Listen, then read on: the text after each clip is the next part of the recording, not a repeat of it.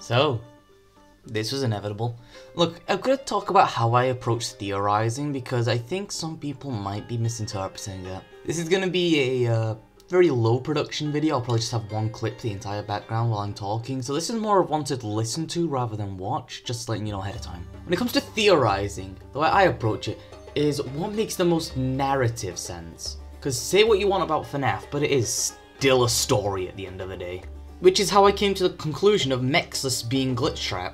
It solves a lot of plot holes and issues and just other things, you know? If Mexus is Glitchtrap, we get an explanation for why Roxy just suddenly snaps out of character, which is never explained. If Mexus is Glitchtrap, then we have an actual excuse to get rid of him rather than saying, eh, Princess Quest probably did it. You know, and that's mostly how I approach theorizing just because with that, you can get a complete story out of it. And it's also why you've never seen me touch the Mimic. As it stands, the Mimic in-game is just a plot device. yeah, I know that probably isn't what you want me to say, but I haven't touched the Mimic with a 10-foot pole because what am I meant to say on him? There's nothing in-game about him other than he's a whiny child.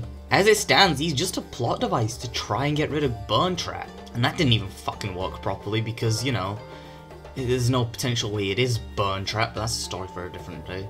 It's also why I said Prototype should just be Glamrock Freddy from the base game. You get more out of it if it is, because if it isn't, you have to come up with like 14 different theories to try and get around the fact that it just fucking spawns in. Whereas if it's just Glamrock Freddy, then most of the issues with it are solved already. You know, how does it get to Fazer Blast, or how does it damage that way, it's already solved. Heck, when it comes to which ending I pick, the reason why I didn't the reason why I said Burn Trap was basically out of the question is because the evidence we have is saying that. Now, while I was on stream the other day, streaming my playthrough of Security Breach where we accidentally solved uh, Ruin, oops, there's this one guy in the comment section, and I'm, I'm happy to talk about this. I'm not trying to say to attack him or anything, but he did get me thinking with the rubble outside of uh, the Burn Trap boss area. Now it's interesting because that's evidence that's never been brought to my attention before. And yeah, that is some pretty solid evidence right there. If it wasn't for the fact we know that Tangle was down here and Tangle tunneling out is what caused the tragedy at the Pizzaplex. The Pizzaplex is brought into ruin by an earthquake, but we see the Tangle tunnels throughout the game.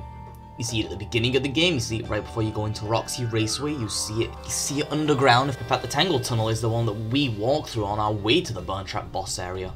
But as it stands, I still say Princess Quest is the canon ending just because you get more out of it. And I, I guess this is where I should explain Princess not Cassidy. So as I brought up in that video, my my problem with Princess Cassidy is just how out of fucking nowhere it is. What I mean by that is, there's no real build-up in game for it being Cassidy, outside of some files, and the game itself presents issues with it, such as by saying it was a mobile game, meaning either the golden color doesn't matter, or she's on thousands of mobile phones. Which even Glitchtrap seems limited to the Fazbear Entertainment, you know, network, so I wouldn't know about that. And ultimately, I'm making this video because, like, it's kind of why I haven't really tackled the older games. Because with the older games, a lot of the most popular theories don't really feel that narratively, you know, satisfying. Like, say, Molten MCI? Yeah, that's a fun one to bring up. It's not that Molten MCI doesn't work, it absolutely does. It's just the evidence people present for it is kind of flimsy at best. You know, oh, Candy Cadet, but then we get to Ruin and Candy Cadet has like a five-part story focusing exclusively on the Mimic. So I don't know what the fuck is going on with that. And even then, those three stories don't directly point to eh, Molten MCI, they point to like a bunch of other things. Only one of them really points to Molten MCI in any way. It's... I'm not getting into it here. Or say, Stitchline. My problem with Stitchline is that it literally opens up on a retcon, which isn't really that narratively satisfying, especially when it's never been talked about since. You'd think something like the Stitchwraith would make it into Help Wanted with how recent it was, but nope, have Funtime Freddy in the FNAF 4 house because fuck you, I guess. I know that some of the Frights things do appear in Security Breach, mostly the arcade rooms, so I say it's probably Fright's fiction, which makes the most sense to me. Anyway, look, the point of this video is for me to explain how I approach theorizing, because I know it is different to how a lot of other people approach theorizing.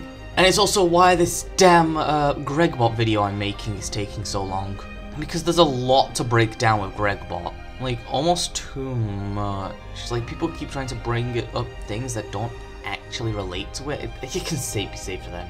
But my point is, I approach theorizing by trying to figure out what makes the most narrative sense. So, say, Roxy snapping out of her character because Glitchtrap is still around in Mexus.